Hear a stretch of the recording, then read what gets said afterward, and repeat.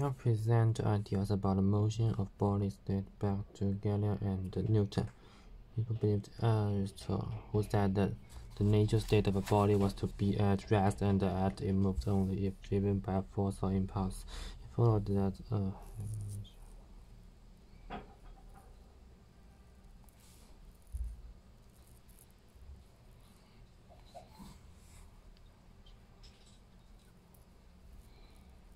was thought was not answered to check back by observation, so no one until Galileo bothered to see whether bodies of different weights did in fact fall at different speeds.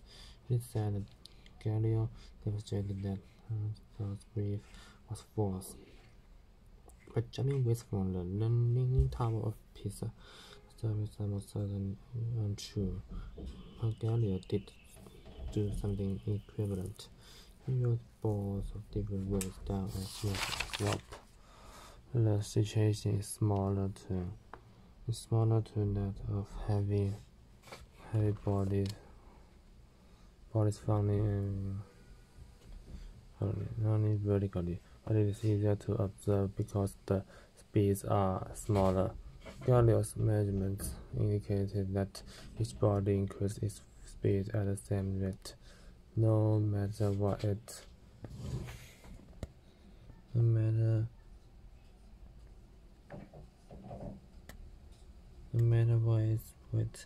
For example, if you let go of a ball on a slope that drops by one meter for every 10 minutes, you go along, the ball will be traveling down the slope at a speed of about 1 meter per second after 1 second minutes per second after 2 seconds.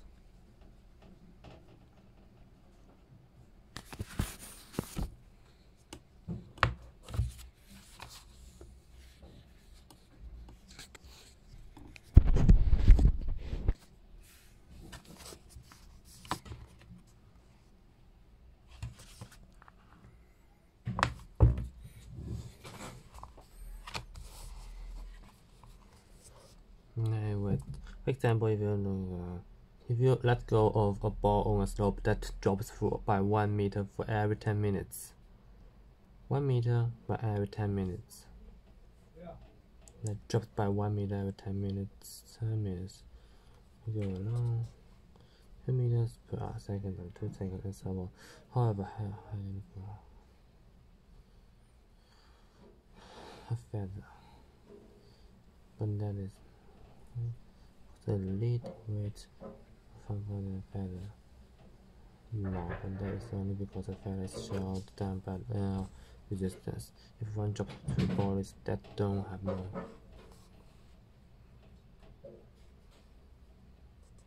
lead weights.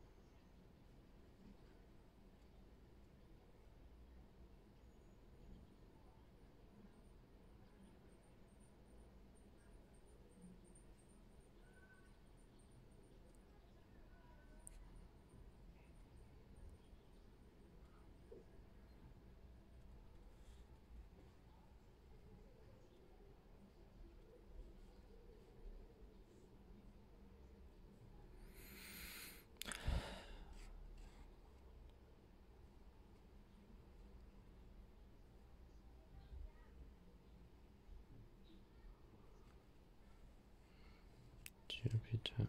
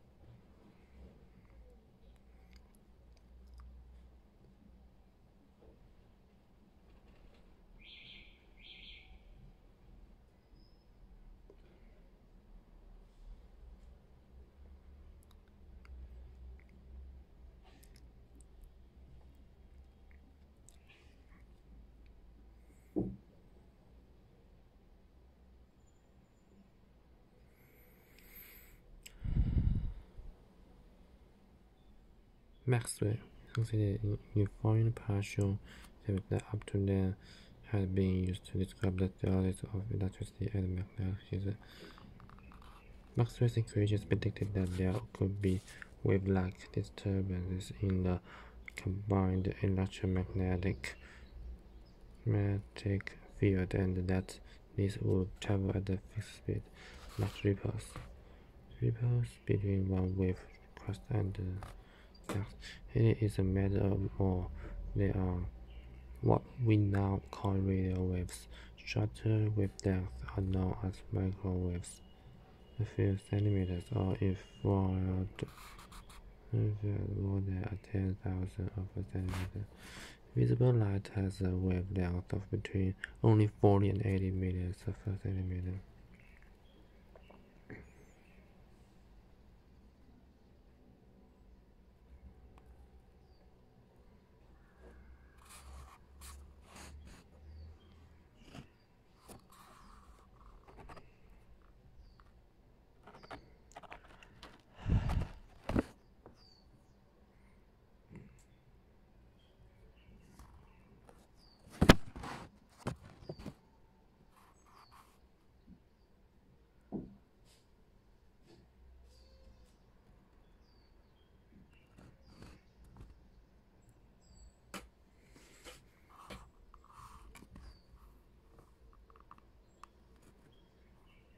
Canada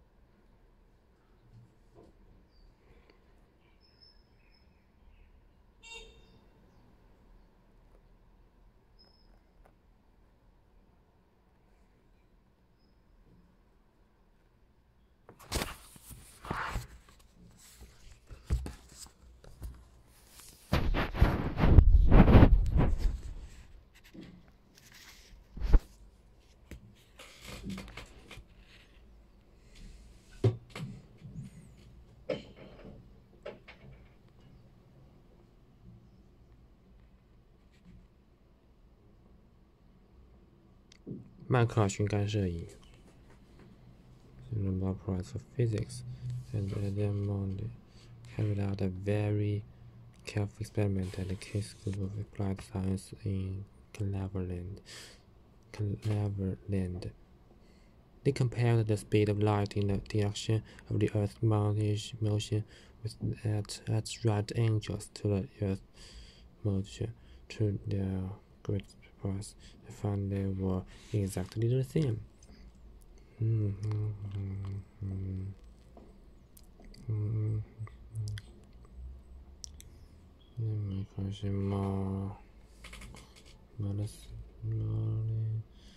Morley experiment in terms of objects contracting and however in famous paper in 1904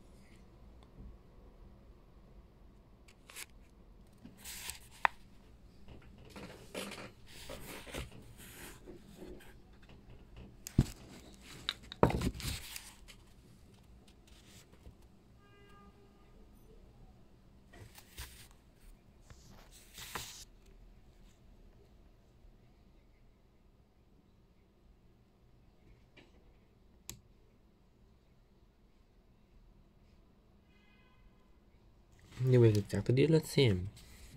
There were several attempts, most notably the Dutch physicist mm, Lorentz to explain the result of reaction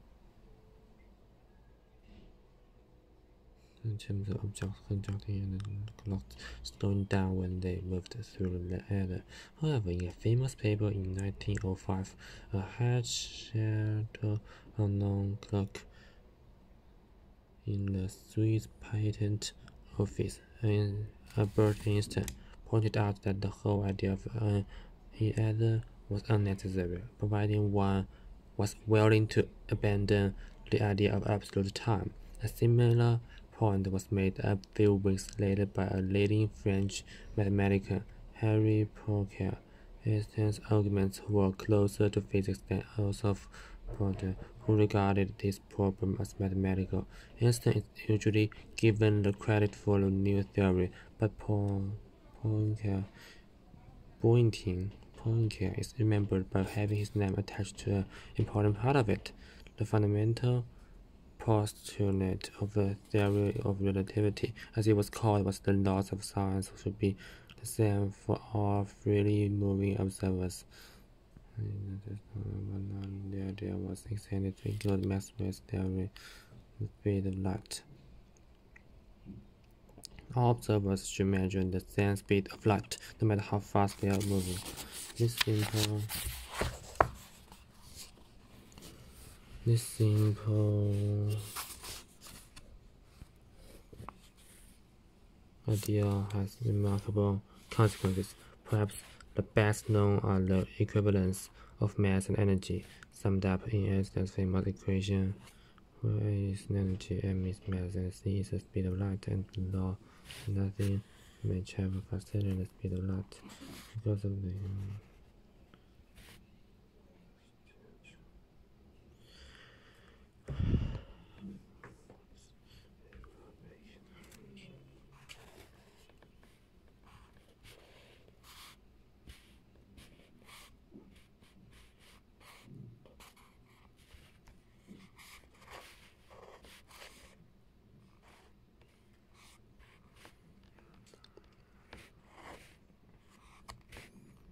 has revolutionized our idea of space and time.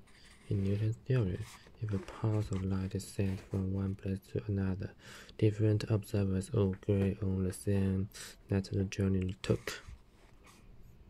The equally remarkable consequence of relativity is the way it was revolutionized our ideas of space and time. Has, in Newton's theory, if a pulse of light is sent from one place to another, different observers will agree on the time that the journey took, since time is absolute, but will not always agree on how fast the light traveled, since space is not absolute. Since the speed of the light is just the distance it has traveled divided by the time it has taken, different observers will measure different speeds for the light. In relativity, on the other hand, all observers must agree on how fast light travels. They still, however, do not agree on the distance that the light has traveled. So they must therefore now also disagree over the time it has taken. The time taken is the distance the light has traveled, which the observers do not agree on, divided by the light speed, which they do agree on.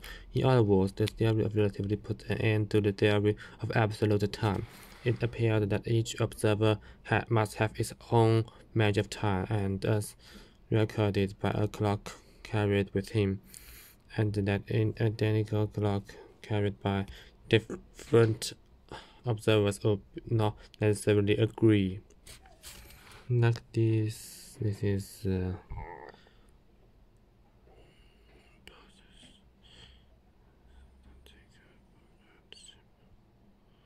Jacob.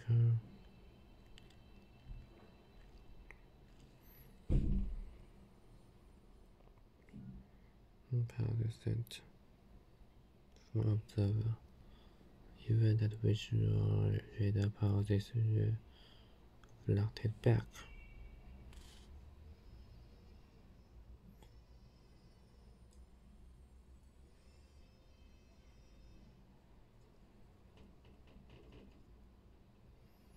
The, the, the, observer's path to space and time is shown as the vertical line on the left. The path of light rays to um, each observer. Different observers do not necessarily agree. Different observers could use radar to say where and when an event took place by standing on a path of light or radio. Well, suppose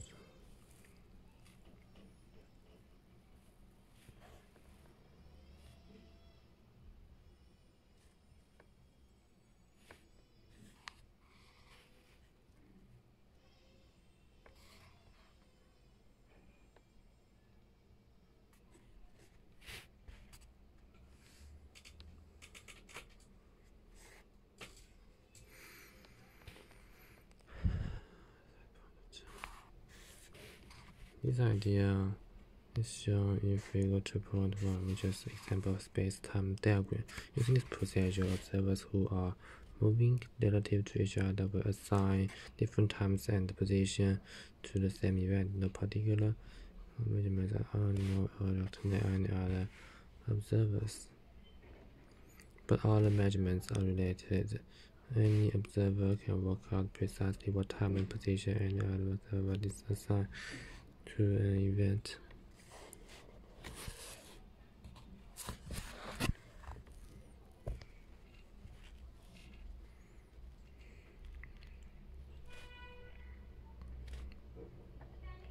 Body not relative velocity.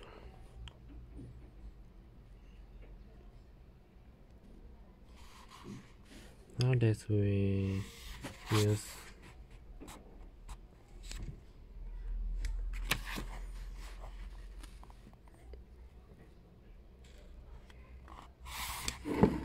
precisely because we can measure time molecule.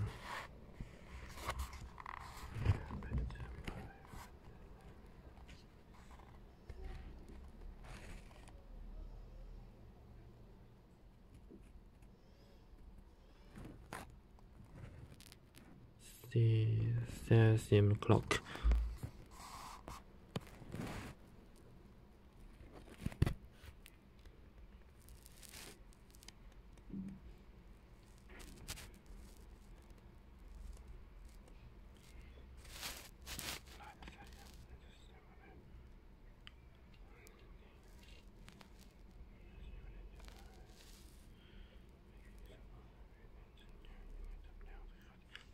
second. This is simply defined at the distance light travels in one second. In theory of relativity, we now define distance in terms of time and the speed of light. Time and the speed of light.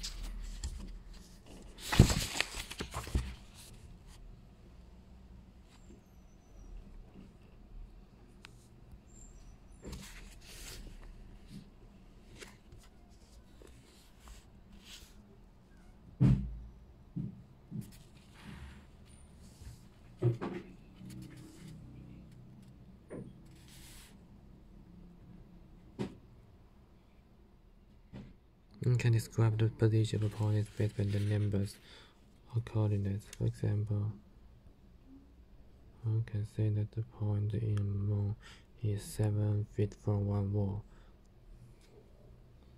3 feet from another, and 5 feet from the about the floor, or one could specify another point.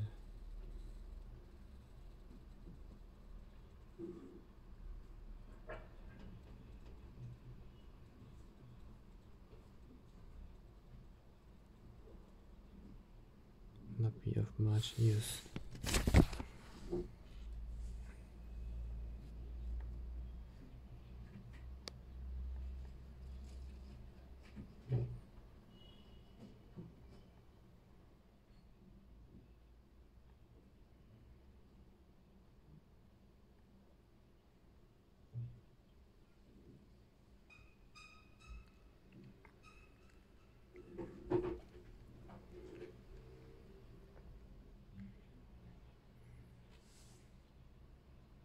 Spatial coordinates and any measure of time. In relativity, there is no real distinction between the space and time coordinates, just as there is no real difference between any two space coordinates. One could choose a new set of coordinates which, in which, say, the first space coordinate was uh, combination of the first and second space coordinates. For instance, Instead of measuring the position of a point on the Earth in miles north of Piccadilly and miles west of miles northwest, north northwest, northeast. Similarly, in relativity, one could use a new time coordinate that was the old time as the distance, not the full. It is often helpful to think of the four coordinates of an event and uh, as specifying its position in the four-dimensional space called space-time. It's impossible to imagine a four-dimensional space. Uh, I personally find it hard enough to visualize the dimensional space. However, it is easy to draw. Uh,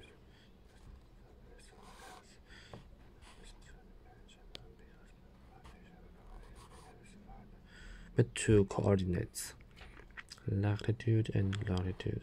I shall generally use diagrams in which uh, in which time increase upward and one of the spatial relation generally use diagrams in which time increases upward and one of the spatial dimensions is and the other two spatial dimensions are ignored or sometimes one of them is indicated by perspective.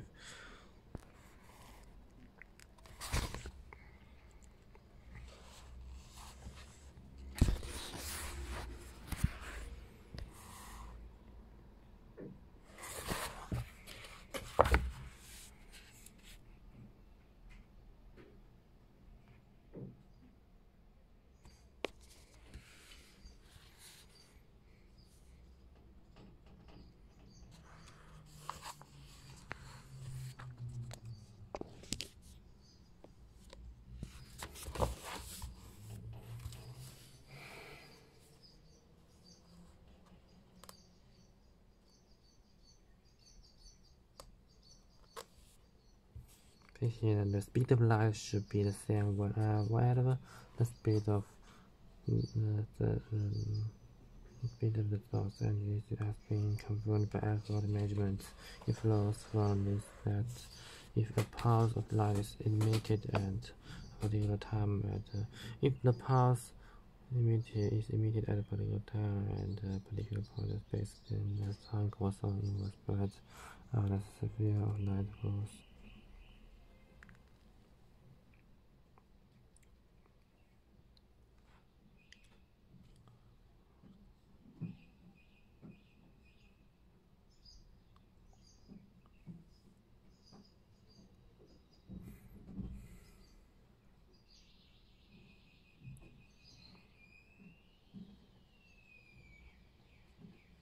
посыпала.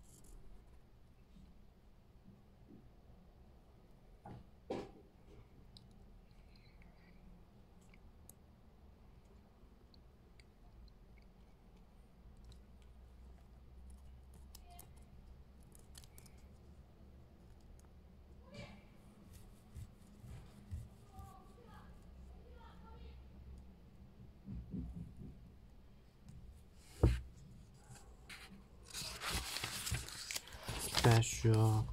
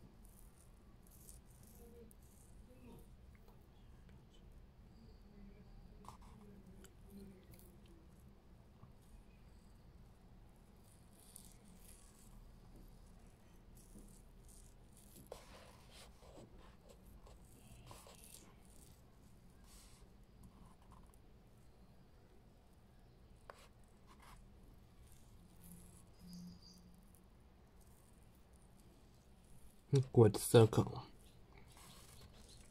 And is the shortest street between the two points as the geodesic this path between the two airports. This is the route airline navigator will teleport pilot to airline navigator will teleport the player oh, In general, the bodies always follow straight lines in four dimension space time, but they Nevertheless, this appears to us to move along curved paths in our three-dimensional space. Watching a airplane fly over hilly ground, hilly ground, although it flows a straight line in three-dimensional space, its shadow follows a curved path on the two-dimensional grounds. The mass of the, the sun curves space-time in such a way that although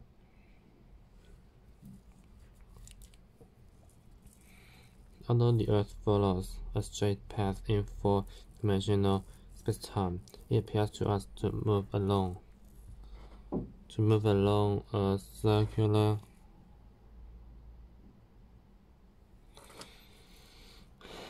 a circular orbit in a three-dimensional space. In fact, the orbits of the planets predicted by general gravity. Are almost exactly the same as those predicted by the Newton theory of gravity. However, in the case of merging Mercury, which being the nearest planet to the Sun, 火星 Mars. Feels that strongest gravitational effects and uh, has a rather uh, to the Sun 金星是水星，水星，水星，水星，水星怎么进动？还有这个 along rotated by the sun at the rate about one degree in ten thousand years. Small though this fact is, it has been noted before 1915 and served as one of the first confirmations of Einstein's theory. In recent years, the even smaller devi deviation of the orbits of other planets from the Newtonian predictions have been measured by radar and found to agree with the predictions of general relativity. Light rays too much follows the uh, geodesics. Six. Again, the fact that space is curved means that light no longer appears to travel in straight lines in space, so general relativity predicts that light should be bent by gravitational fields. For example, the theory predicts that the light cones of points near the sun would be slightly being bent inward on account on account of the mass of the sun. This means that light from a distant star that happened to mass pass near the sun would be deflected through a small angle, angle, causing the star to appear in a different position to an observer on the Earth.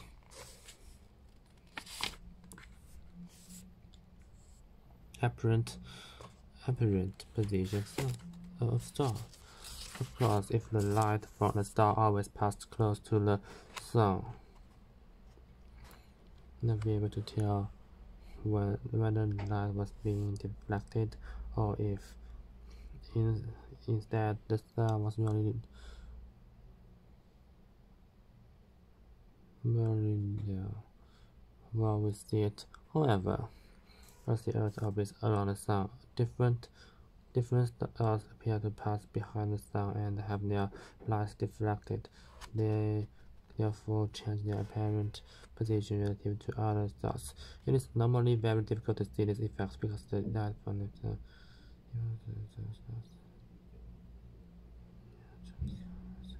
it's possible to do so during an eclipse of the sun when the sun's light is blocked out by the moon. Einstein's prediction of light deflection could not be tested immediately in 1915 because the First World War was in progress, and it was not until 1919 that the British expedition observing an eclipse from West Africa showed that light was indeed indeed deflected by the sun, just as predicted by the theory. This proof of a German theory by British scientists was hailed, hailed as a great act of reconciliation between the two countries after the war.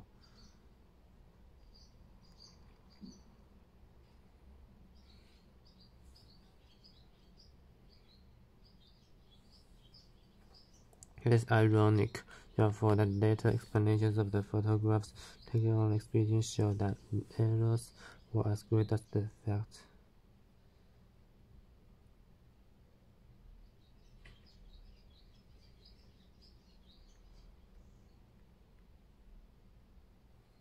they were trying to measure. Their measurements had been sheer luck, or a case of knowing the result they wanted to get. Not uncommon occurrence. Besides, the light deflection has, however, been accurately confirmed by a number of later observations. Another prediction of general relativity is that time should appear to run slower near a massive body than the Earth.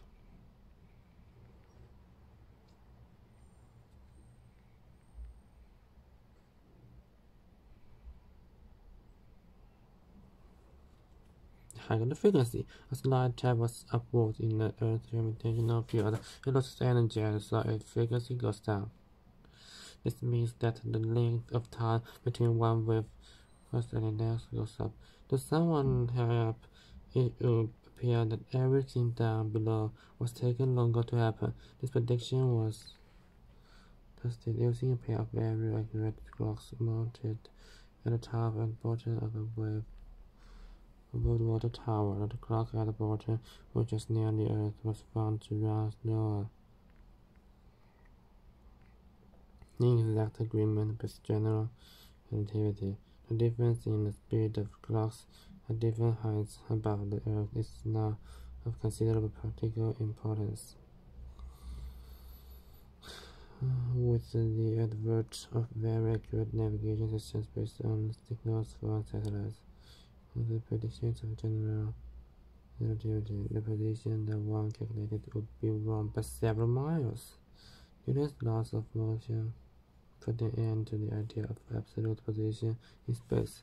The theory of relativity gets rid of absolute time. Consider a pair of twins. Suppose that one twin goes in the one the. The first twin will age faster than the second, thus if meet again, one will be older than the other. In this case, the difference in ages will be very small, but it would be much larger if one of the twins went for a long trip in a spaceship at nearly the speed of light. When he returned, he would be much younger than the one who stayed on Earth. This is known as the twins paradox, but it is a paradox only if it has a time edge in the back of one's mind. In the theory of relativity, there is no unique absolute time, but that each individual has his own personal measure of time that depends on where he is and how he is moving. Before 1915, space and time were thought of a fixed arena in which events took place but which was not affected by what happened in it. This was true even um, the special theory of relativity. Bodies moved, forces attracted and uh, repelled, but time and space simply continued unaffected. This it, was nature to think that uh, nature to think that uh,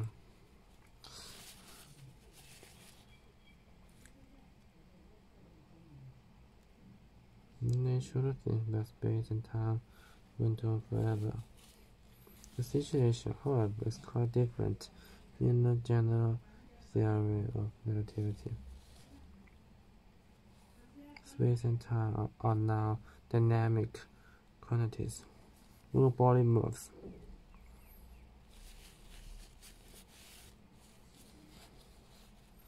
for four seconds, it affects the curvature of space and time, and in turn, the structure of space-time affects the way in which bodies move and forces act. And in turn, the structure of uh, space-time affects the, the, the way in which bodies move and the forces act.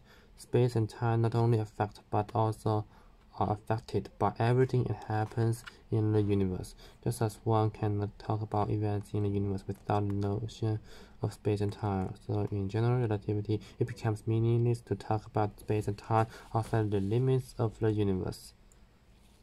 In the following decades, this new understanding of space and time was to revolutionize our view of the universe.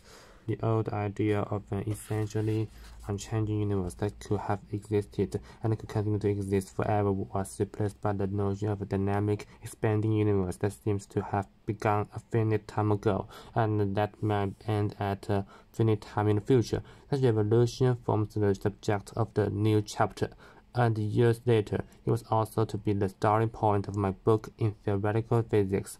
Roger Penrose and I showed that Einstein's general theory of relativity implies that the universe must have a beginning and possibly an end.